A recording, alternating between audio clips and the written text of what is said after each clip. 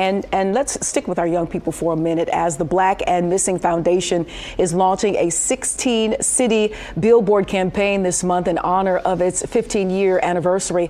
Black and Missing uh, has been established as a nonprofit organization whose mission is to bring awareness to missing persons of color, provide vital resources and tools to missing persons' families and friends, and to educate the uh, minority community on personal safety. So, here to discuss the campaign and uh, Black of Black and Missing Foundation are the organization's founders, Natalie and Derrica Wilson. Welcome back to the Black Report, ladies.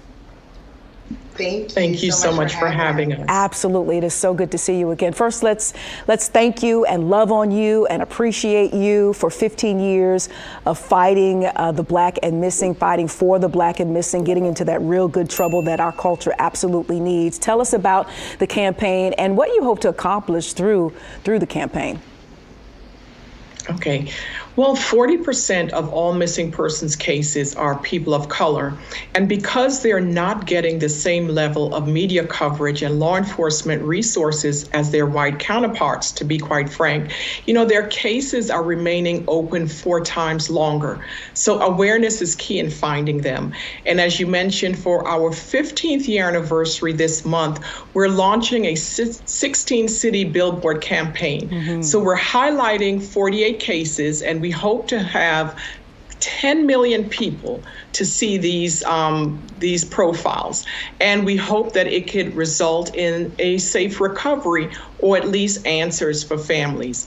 And the billboard will be in cities like Detroit, Atlanta, LA, and across the country. And we even have a partnership with the Milwaukee Bucks, who they're using nice. their um, their video board very, very nice.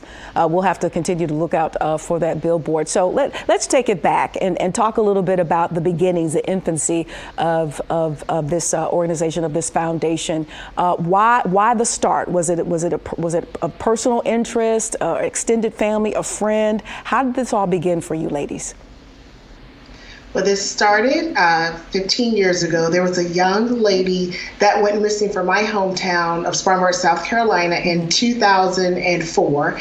And despite the fact that our aunt worked in media relations, she really struggled to garner that coverage for her niece. And a year later, Natalee Holloway disappeared. And me saying her name alone, mm. everyone can recognize that name. So Natalie and I decided to do some research. And at the time when we started the organization 15 years ago, 30 percent of missing persons in the United States were persons of color, mainly black men, and that number has increased today to 40%. So, what we're trying to do is bring awareness to our missing. We need law enforcement resources and we need our media. And at the end of the day, we need our community so we can help find and bring our missing home. Sure. And so, what are what are some of the common or specific causes uh, as to why we go missing? And then, you know, what should or shouldn't people do uh, when they think they've encountered someone who has been reported missing? That area is kind of gray. Do you report? Do you don't report? Do you have to wait it out? Help us out with that.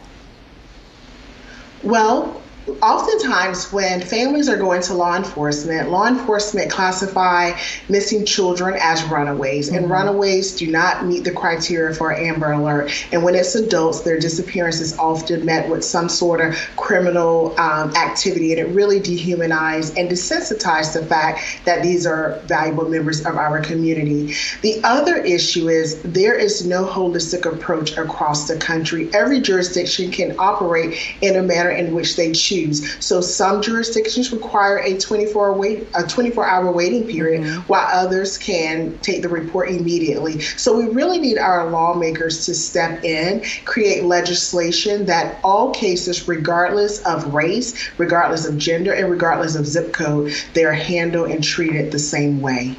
Yeah, so there are some states that are creating uh, legislation centered around black and missing uh, people. How do you how do you all feel about uh, that and the effort? Is is it is it enough? Well, I will say it's a step in the right direction.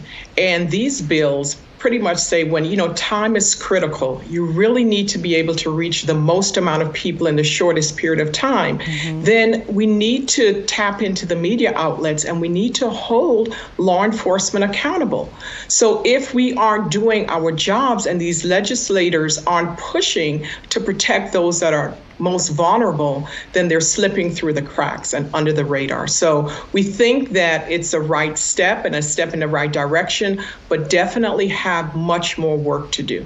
Indeed. So we here at Fox Soul's Black Report, we are looking forward to kicking off our Black and Missing uh, segment. Um, so to help amplify uh, the foundation's mission, what can our viewers um, expect when we tap in and, and talk about uh, this this foundation and and the message and really the goal as we continue this conversation?